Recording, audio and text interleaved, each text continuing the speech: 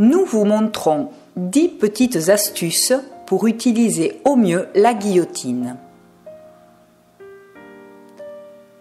Voici une baguette en bois recouverte d'une pellicule d'aluminium.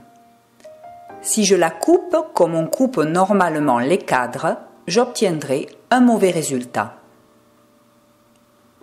Maintenant, je coupe de nouveau en mettant une bande de carton derrière la baguette.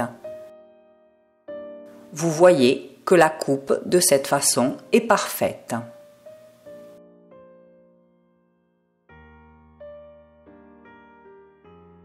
Même truc en cas de baguettes qui sont en bois très tendre comme celle-ci.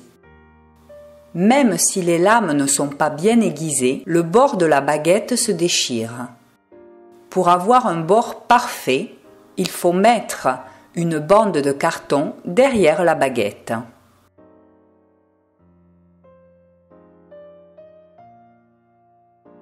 Pour faire des cadres hexagonaux, octogonaux, etc., je dois faire pivoter les barres d'appui sur des points spécifiques indiqués ici. Le numéro 5 sert à indiquer la coupe des cadres pentagonaux. Le numéro 6 pour les cadres hexagonaux. Le numéro 8 pour les cadres octogonaux. Je veux maintenant couper des morceaux pour obtenir un cadre octogonal. Je commence par faire pivoter la barre d'appui droite sur la position 8. Même chose pour la barre gauche. À ce moment-là, je peux couper la baguette.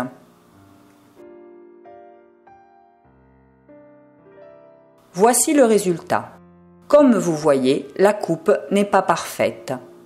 Pour avoir une coupe parfaite, je dois mettre une bande de carton derrière la baguette. De cette façon, la coupe est parfaite. Je continue en coupant tous les huit morceaux. Les cadres plats, comme celui-là, peuvent aussi être coupés à l'envers. L'avantage et qu'il n'est pas nécessaire d'utiliser des barres de support. Voyons par exemple comment on peut couper à l'envers une baguette en bois brut. Un autre exemple avec un cadre en noix plat.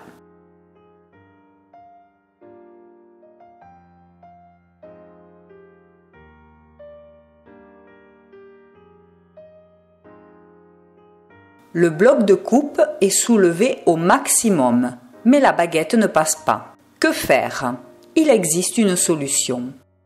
Je porte le bloc de coupe en arrière et j'effectue une première coupe partielle de la baguette. Je déplace de nouveau le bloc de coupe en arrière et je le soulève au maximum. Je porte la baguette en avant jusqu'à ce qu'elle touche la lame. Et puis j'effectue la coupe en enlevant la partie du bois que je n'avais pas enlevée à la première coupe.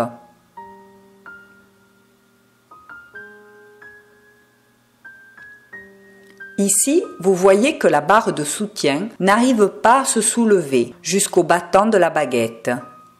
On peut remédier en mettant un petit morceau de bois sur les barres. Une solution plus professionnelle consiste à utiliser les barres hautes prévues à cet effet fournies par Inaldine. Il arrive de temps en temps de devoir couper un morceau de cadre identique aux autres morceaux déjà coupés. Je dois couper un morceau de baguette identique à celui-ci. J'approche complètement le bloc de coupe et je le maintiens abaissé. J'appuie le morceau déjà coupé contre le bloc de coupe. Je pousse l'arrêt contre le morceau coupé, je fixe la mesure et puis j'éloigne le bloc de coupe. J'insère la baguette à couper et je l'appuie contre l'arrêt. Je coupe le morceau.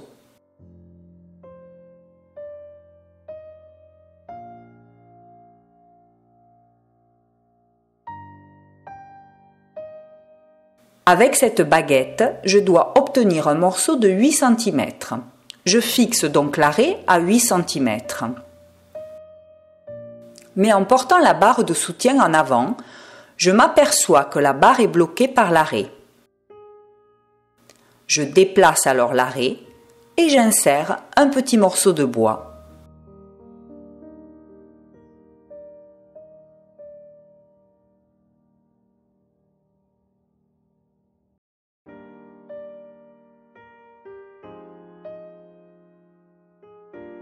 Les encadreurs qui réalisent fréquemment de petits cadres auraient intérêt à scier la pointe de l'arrêt.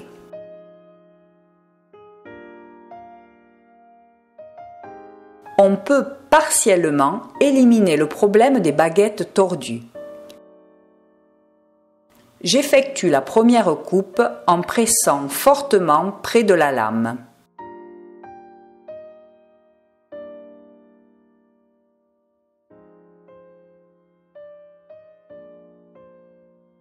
Pour la coupe de l'autre extrémité, je dois aussi presser fortement la baguette près de la lame, sans appuyer sur l'autre côté où se trouve la baguette entière.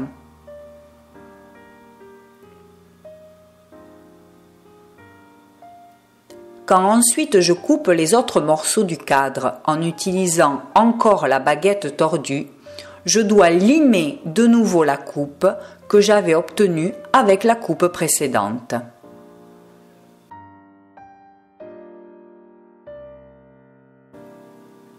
Pour chaque coupe, je dois presser fortement la baguette près de la lame. Ce truc n'élimine pas complètement le problème, mais le réduit énormément. Quand la pédale revient automatiquement en position initiale, elle fait un pénible bruit métallique. Pour atténuer le bruit, il faut mettre du feutre entre la barre et l'arrêt de la barre. Le même problème existe quand la pédale touche par terre. Dans ce cas aussi, on peut atténuer le bruit en mettant des petits bouts de feutre sous la pédale. Une autre alternative consiste à utiliser les silencieux prévus à cet effet et fournis par Inaldine.